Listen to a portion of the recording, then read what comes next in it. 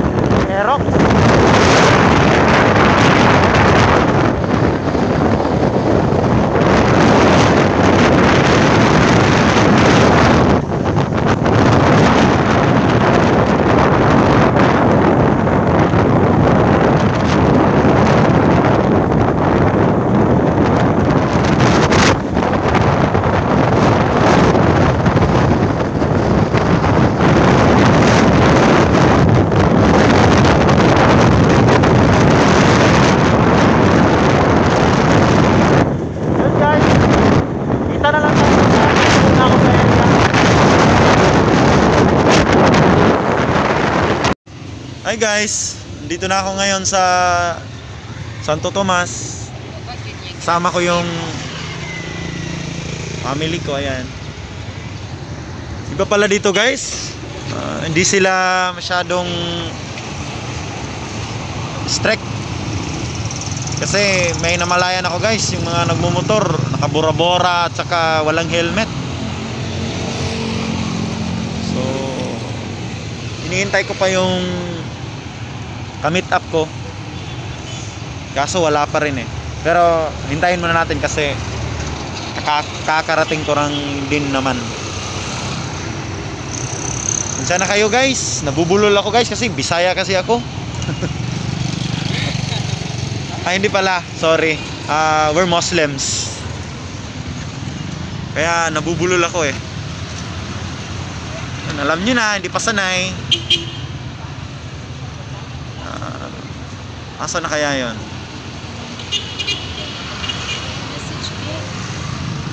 Message ko. Hindi, bata, basig na kurinti Hindi dia na. ba? Hello, kanong boss, palit subscribe eh. YouTube. Vlog ko na.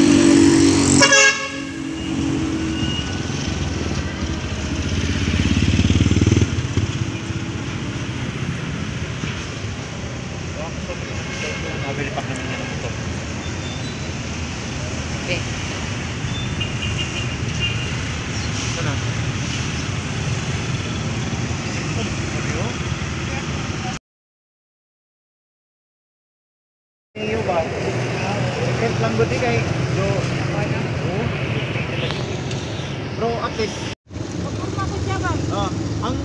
rana gyud siya, repent ra gyud na siya.